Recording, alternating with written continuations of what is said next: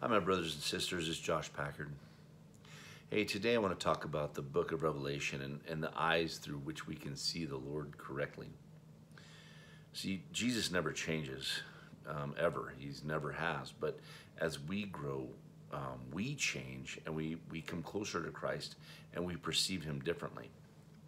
And uh, a lot of people say, well, that's dangerous, Josh, to, to think that. Well, follow me out real quick. Follow and hear what I have to say. Um, and see if this is true with you. Okay, when you first are walking and you don't know Christ, you're an enemy to him. And so when you read the scriptures, you're not gonna you're you're gonna see him coming. Let's let's see it this way. Just think about it personally, interpersonally. That this big badass um, God that is the ruler of all of creation is you know is your enemy. And so when you see him coming, you're gonna genuinely you're gonna kind of cower away from him because you don't want to mess with him because he's your enemy. And as you as you transition from being a non-believer to actually beginning to believe, you're going to see, oh well, you know, he loves me and you know, and he's my king, he's my lord. And so whenever you see him coming, you you might wave or bow to him. You know, you might do a reverential bow and but you won't you won't want to get close to him um, but the as you get closer, you'll have these these guys that grew up with them and went to battle with them, and they they've they spent a lot of times together and they've they've been in the mix. Well, when Jesus comes, you'll come up to him, embrace him, and you, you'll you'll hug him and say, "Oh man, it's good to see you." Again, you know, you you have a real little bit more intimacy. But his son, you know, his son has even more intimacy. He just takes intimacy for granted. He goes and sits on his daddy's lap and farts on his leg. You know, he's just totally unceremonious at all. He's, you know, he's just so close with his dad, and he, you know, helps himself to the refrigerator, jumps on the horse whenever he wants. Just he doesn't even know it. He's he's still he's so much closer. But the bride, the bride is someone who shares everything with him. He shares his innermost secrets with. You know his heart. You share his bed you're you're he's like every moment you have this intimacy where you walk hand in hand and you share everything together. And and and as as you as you come to becoming the bride and as you see him that closely and you know and i'm, I'm going to tell you right now it's still mostly in my head. I get it in my head it's it's a hard step to have that intimacy in your your heart because it has to come a revelation. But or illumination as bill would say and uh, but the thing is, is as you each one of these positions, as you see God, it shades the way that you understand Scripture. Because when you see mentions of hell when you're an enemy, you're going, "Oh my God, I'm going to go to hell! What kind of just God would throw me into hell?" But as you become closer, you start seeing that this is what He rescued you from. That you have full deserve. You deserve it. You deserve going there. You deserve that punishment. All of us do. But but Christ took that punishment on on himself. And why? And it was to get you to the place to where you would come further with him. But most Christians are still just in that place to where they're like, "Oh, holy, holy Jesus, Jesus, oh, you're so amazing." And and nobody's going forward to going, "Oh, Jesus." Oh. Look at like John when he was cuddling with him at the Last Supper. a grown man you know, was was reclining on Jesus's breast. What kind of man would Jesus have been where people felt that comfortable with him? But it, I mean, I'm, I'm sure John wasn't that way right at first. And this is how you kind of got to look at scriptures.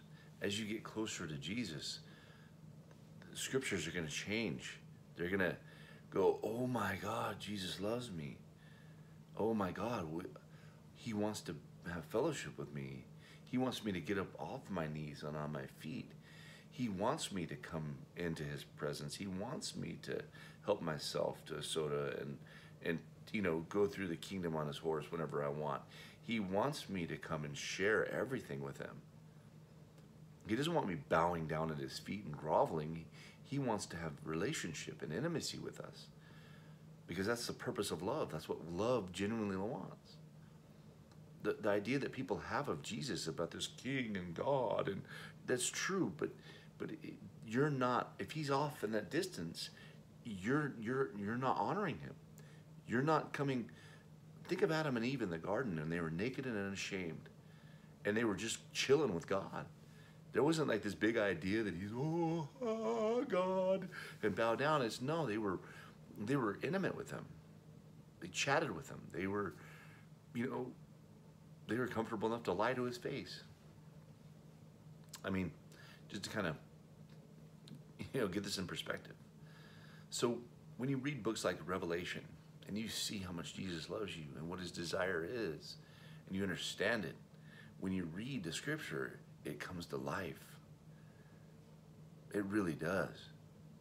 But when you're still an enemy, man, every time you see like the the sickle being brought into the grapes, you're like, oh no, or the fire, or the smoke of the torment, or the eternal judgment, or or you know the the second death, and you're like, oh my God. Well, you focus on those things, and you don't even understand what they are, but you're seeing them as negative towards you.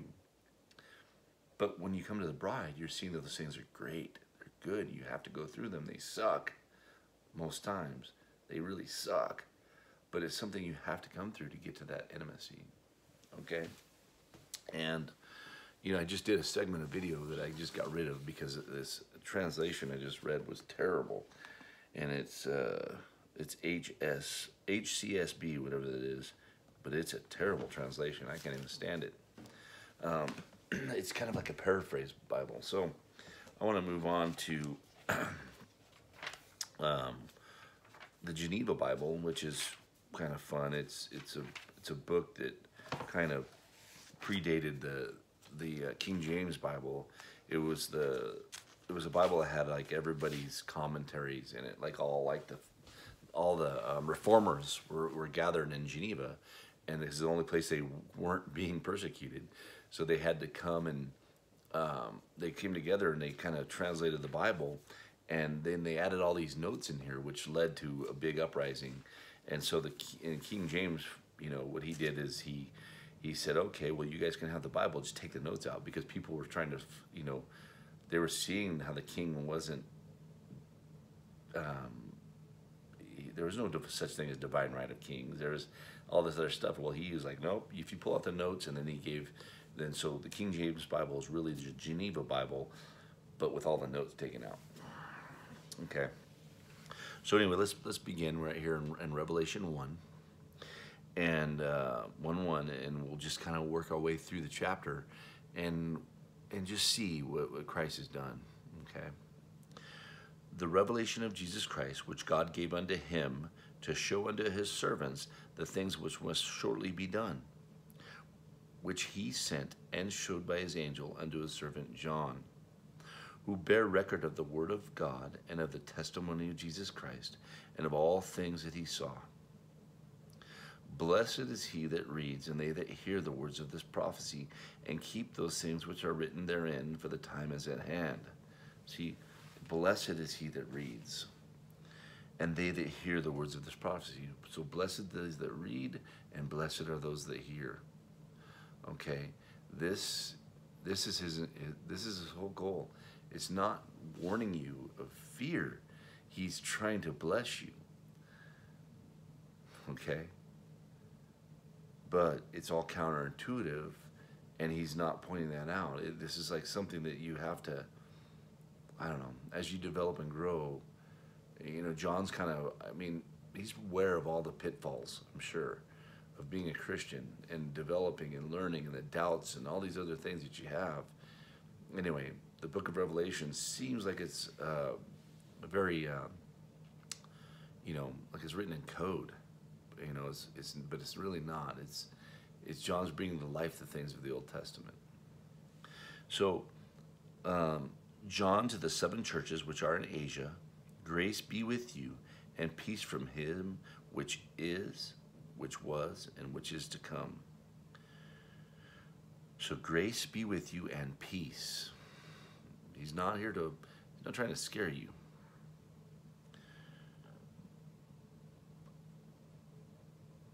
And it says, which, so then it says, from him, which is, and which was, and which is to come, and from the seven spirits which are before his throne, and from Jesus Christ, which is that faithful witness, and the first begotten of the dead, and the prince of the kings of the earth, unto him that loved us and washed us from our sins in his blood. Okay, this is so far all I see is this good news. I see this this starting out and everything all going to the glory of Jesus. The prince of the kings of the earth. You know who the kings of the earth are, right? He'll say here in a second.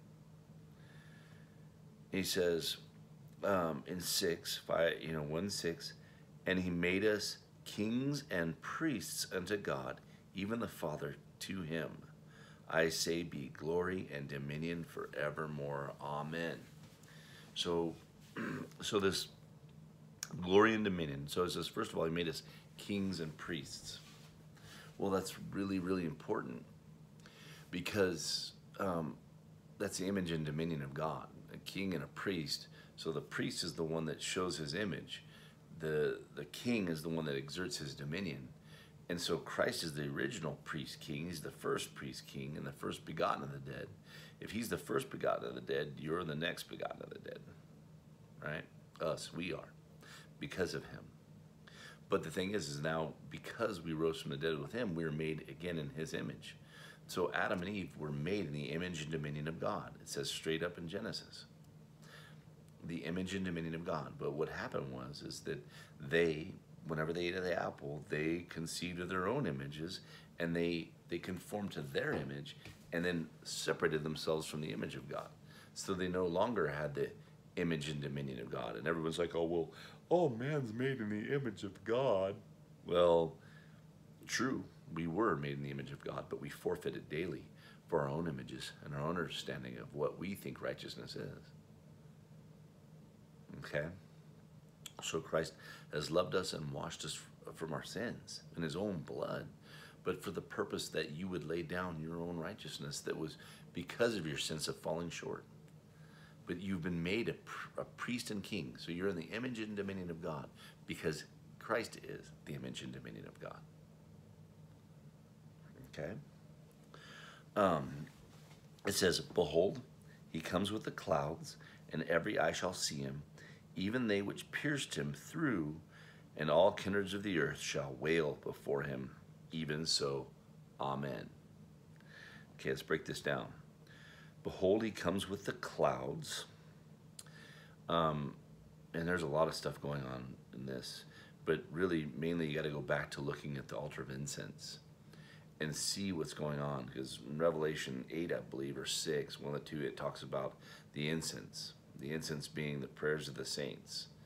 But the incense doesn't raise unless there's fire. But anyway, that's for another time. But those clouds represent us. And that's where God's Shekinah glory showed inside that cloud of incense. Inside of the Holy of Holies on the Day of Atonement, whenever whenever he would go in and spread the blood uh, over the mercy seat, God would actually appear. Well, that's appearing in us, and we are that cloud. I mean, go to Hebrews, the end of Hebrews, and it says um, that he's so happy to be to see he's surrounded by such a great cloud of witnesses. Um, so he comes with the clouds, and every eye shall see him. Yes, even they which pierced him. Well, that's that's really awesome because that shows that they're not dead, they're not destroyed. That when every eye will see him means that those people aren't dead. They're just they're just waiting for judgment, for Christ to to how do you say that redeem all of the purchased possession. Okay, they're waiting on that redemption because we've already got the purchase that's already been done. Now we're just waiting on the redemption. Whenever God comes and takes up his home, and whenever he comes and reigns. So it's just a matter of time. Okay. Now, um, it says, All the kindreds of the earth shall wail before him. Even so, amen. Well, you know, and everybody gets all cryptic with this, but in my experience, I wailed when I found out that I had been denying the, the Christ to my own detriment, that I was teaching others to, I wailed. So I, I really think this has a lot to do with your being when when you're released from the deception, when you see how much Christ loved us and how we murdered him for nothing, that he did nothing wrong. We did it to cover our own sins and our own tracks. I mean, subconsciously, of course, for most of us. But if Jesus came to the earth right now, he'd piss us off because we would be, I mean, nothing like him. I mean, honestly. So he says, I'm the Alpha and the Omega, the beginning and the ending, says the Lord, which is, which was, and which is to come, even the Almighty. Now, the beginning and the ending, it's really interesting because because nothing was created that was not created through Christ. So Christ is the beginning. Jesus is the beginning and the and it says that he is also the end. So everything is going to be everything has to be bound up in him. It, and it's it's really interesting because if if we were built and and made in grace, what are we going to die in, or what are we going to be resurrected in? It's always him. You guys got to see that um, if he's the beginning and the end. Um, think about it with us. At the beginning, we were made in the image and dominion of God, which we were made in the image of Christ. In the end of all things, what's Christ going to have back? He was meant to be expressed through us corporately. Christ is. That each one of us, bearing witness with Him, manifests Him. But not like I'm a little Jesus running around. I mean, I, I guess I could be kind of, because it says, as He is, so are we in this world. But that's not the intention. And even if I was, it's Christ is desires to be expressed in the entire body so that each one of us is like a, an appendage or a cell of his body. And we all move together and we're all we all move with the spirit and we all work together. We all we all it's like we're all pushing the same direction. We're all working to to establish his kingdom instead of all of our different kingdoms all scattered in different ways. I just it would be really amazing for me to see everybody in unison you know, and see what would God would create. It, it kind of reminds me of those bands, you know, like the marching bands that you see them go out on the field, and they all they're all so perfectly choreographed, and they're all submitted to the will of of their conductor. And uh, they, they, and all of a sudden you don't see what they're doing. All of a sudden they become all these different shapes and sizes, and they're saying words and pictures, and they're it's like wow, these people are all they're all submitted. Well, once we have all laid down our own self righteousness and our own ideas of what good and evil are, and we go about and we all put our faith in Christ, and we don't have anything left to do anymore for ourselves, when everything is done on our behalf, what I wonder what the Lord could do with us if we weren't if we weren't trying to serve our own interests all the time. It'd be pretty cool. And, and we really don't need to serve our own interests because God says He'll provide if we seek first His kingdom. I know it's hard to do. I mean, we struggle with it. My wife and I worry about finances. We worry about things. It's really a struggle for us to just say, all right, God will provide, you know, in all aspects of your life. So that we're free to do stuff like this. We're, we're free to go to Bible studies and lead and teach the, the gospel and to, you know, the stuff that we, we do all the time. It's because we don't have any concern for ourselves anymore. We don't care. Christ has finished it. I'm done and done. I don't have any worries about me. I don't care.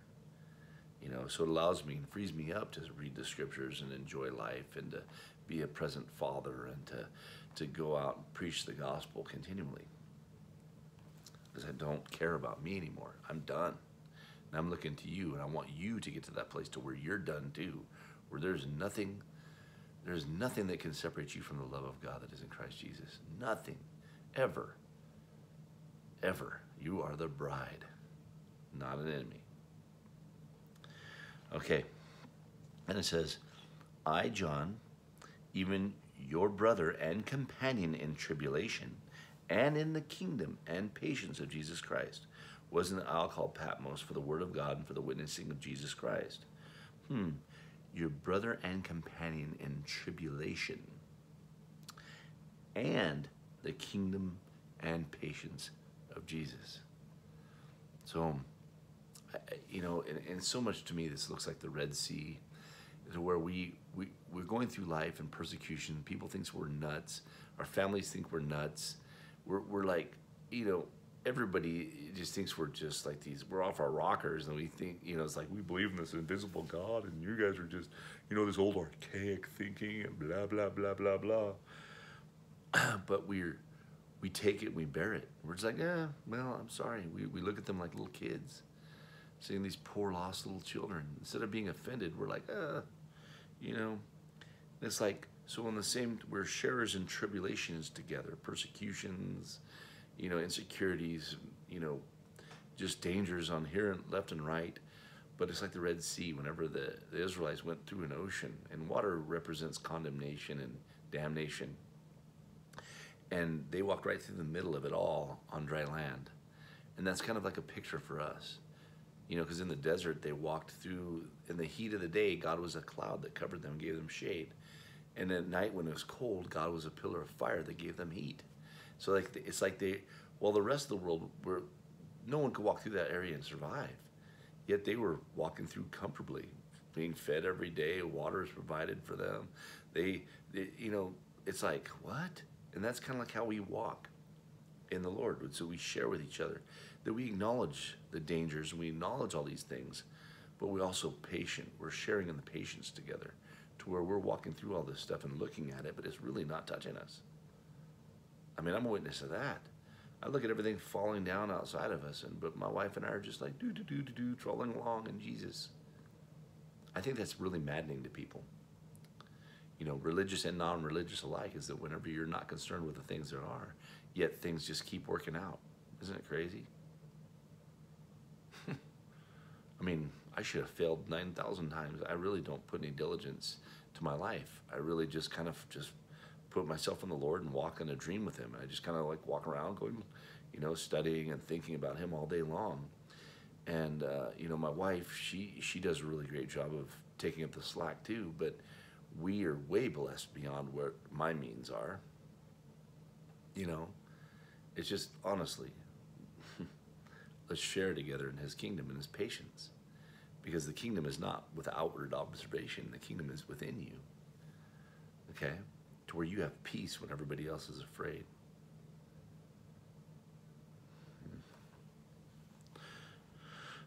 Hmm.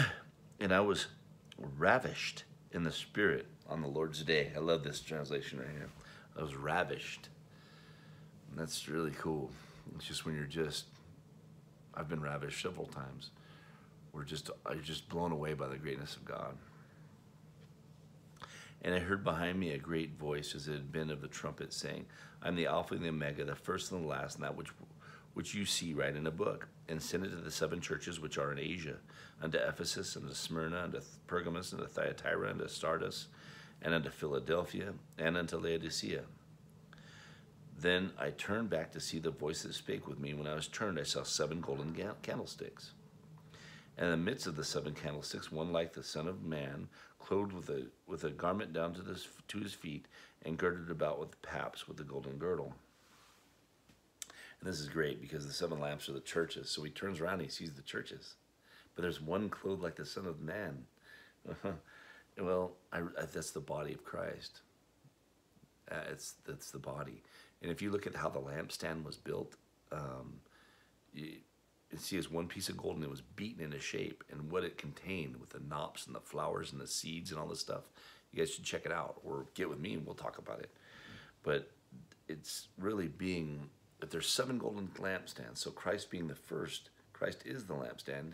Talks about how he was beaten into shape and it made this lampstand. Well, then there's the seven, which is the number of completeness, and it's the churches. And he turns around, he hears this voice. He turns around, he sees the churches, but then he sees the one clothed like the Son of Man um, but that's that's the body of Christ, you know, because the, the voice of many waters, um, that's like a, a crowd speaking to me. Anyway, it says in the midst of uh, uh, and the golden girdle and everything. His head and his hairs were white like wool and the snow, and his eyes were like a flame of fire, and his feet like unto fine brass, burning as in a furnace, and the voice of many waters. There it is And he had in his right hand the seven stars, and out of his mouth went a sharp two edged sword, and his face shone as the sun shines in his strength. And see, this is when Moses was in the presence of God. It's the, you know, and the sharp double edged sword is the gospel. And it, it's like, it's the body wielding these things. This is what John saw. This isn't Christ in a singularity, it's the corporate Christ being the body. Um, and so, so it says down here, whenever it says that the golden, the there's a girdle about the paps, the golden girdle.